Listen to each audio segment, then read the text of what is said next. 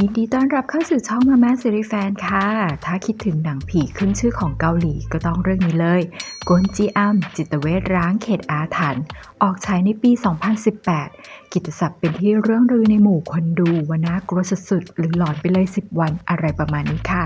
ดังนั้นใครที่เป็นคอหนังผีไม่ควรพลาดค่ะ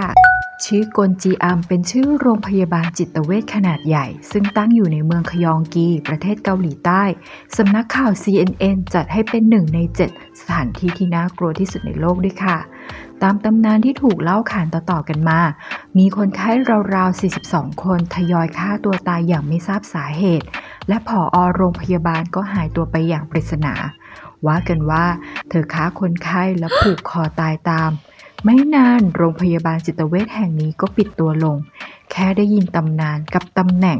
ที่เป็นสถานที่ที่น่ากลัวของโลกก็ชวนขนหัวลุกแล้วค่ะ ซึ่งตัวหนังจะเล่าถึงรายการล่าท้าผีโฮโรไทม์เปิดรับสมัครผู้กล้าจากทางบ้าน เพื่อจะมาล่าท้าผีที่โรงพยาบาลจิตเวชร้างกลจิอัมแห่งนี้ ผู้หวังยอดวิว 1 ล้านวิว และค่าโฆษณาที่จะได้รับ ซึ่งแน่นอนว่าทางทีมงานได้จัดฉากเซตผีปลอมๆพ็อปต่างๆ ให้ดูว่ามีผีมีวิญญาณ หรือเหตุการณ์ลี้ลับเกิดขึ้นขณะถ่ายทำ ซึ่งในช่วง 30 นาทีแรกของหนังจะปูเรื่องก่อนค่ะ พอกลางๆเรื่องเริ่มทำพิธีเรียกผี ความน่ากลัวจะค่อยๆ ปรากฏขึ้นมาค่ะ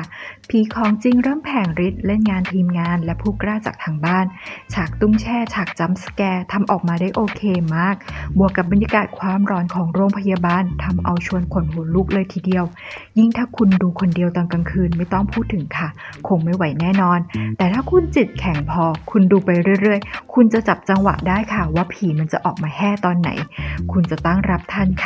สไตล์การถ่ายทำของหนังเรื่องนี้เป็นแนวฟาวฟุตเทจค่ะ อารมณ์เหมือนเราดูเขาไลฟ์สด ถือกล้องถ่ายไปเรื่อยๆ ถ้าใครเคยดู The Blair Witch Project ก็ประมาณนั้นละค่ะ แต่มุมกล้องไม่ชวนอ้วกไม่เวียนหัวขนาดนั้นเพราะเรื่องนี้ถ่ายด้วยกล้องหลายตัว ช่วยลดอาการเวียนหัวของคนดูไปได้เยอะเลย และช่วง 30 นาทีสุดท้ายของเรื่องนี้พีคมาก ประมาณว่านรกมาเองสองสาวในเรื่องพยายามจะหนีออกจากโรงพยาบาลแล้วแต่เราก็นึกว่าจะรอดที่ไหนได้วนกลับมาที่เดิมค่ะ